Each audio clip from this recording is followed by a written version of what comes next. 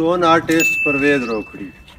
Viewers, आज मैं आपको आपकी जो मुलाकात है, वो आपके कौमी जानवर, पाकिस्तान के कौमी जानवर मारखोर से कराता हूँ। ये मारखोर कई और जगह की भी इलामत है। तो इसके नीचे जो मैंने तस्वीर बनाई है, वो मगरमच्छ की है। नीचे हराम और हलाल जो है, वो ऊपर है। तो ये हमारे माइंड में होता है कि हमने क्या करना है, क्या बनाना है। ये पत्थरों से बनाई गई एक तस्वीर है। ये हमारा कौमी जानवर और इसके पाँव के नीचे जो है मगरमच्छ है।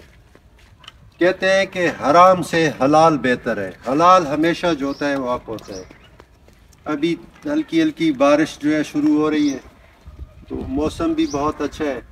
तो मैंने कहा, चलो, आज आपकी मुलाकात आपके कौमी जानवर मारखोर से कराते हैं। ये इंतहाई खूबसूरत जानवर है। शुमाली इलाका जात में ये पाया जाता है, पहाड़ी इलाकों में। मैं कोशिश करता हूँ कि मेरी जो तस्वीर है, वो एक शायर था, फारूक रोखली वो कहता था कि, एहो जय रंग भर, बोले तस्वीर में।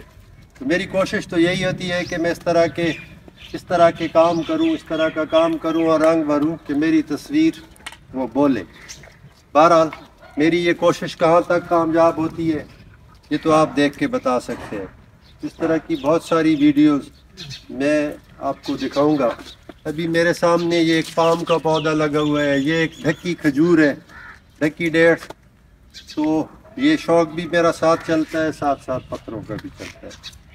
पत्थरों से मैं बहुत सारी तस्वीरें बना चुका हूँ, बना रहा हूँ।